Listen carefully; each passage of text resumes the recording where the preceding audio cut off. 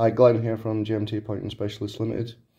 Uh, right, this is some lime that I've took out of a property. Uh, you can send your pieces of lime off to be analysed and they can give you a sand um, that'll match um, your building.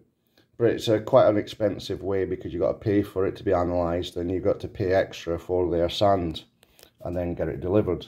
So what I do is get an old bowl make sure you put something under your bowl because you're going to be putting um, white vinegar on it. And what I do is I pour the white vinegar in and it'll fizz. That fizzing tell, that tells me it's lime.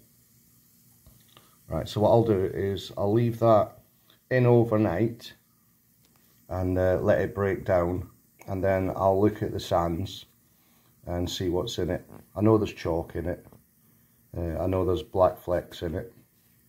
So we'll just see if it's brown sand or round red sand. The local quarries around here are brown sand.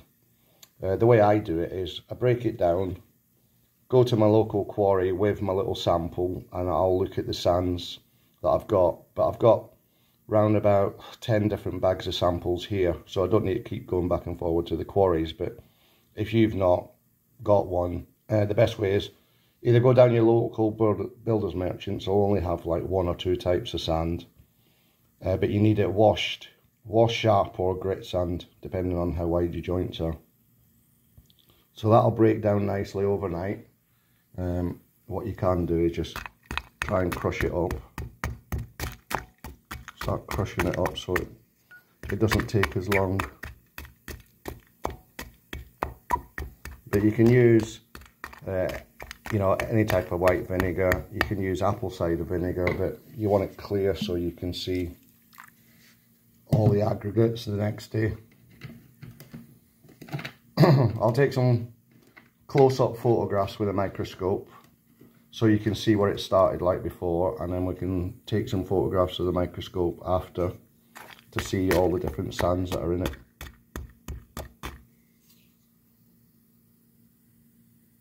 That'll fizz away for hours.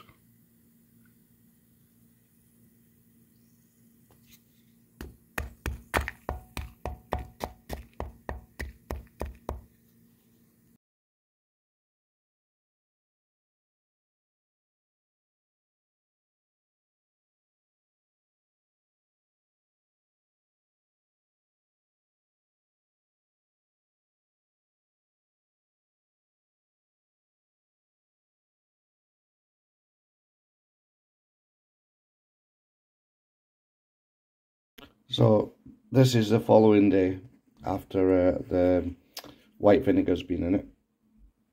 So that's what you expect to see. So what I'll do is I'll get rid of the excess white vinegar and we can have a look through a microscope uh, to see what's actually in there. Right, this is it under a microscope, but you can just do it with a torch. Um, you can see all the little black stones, white stones.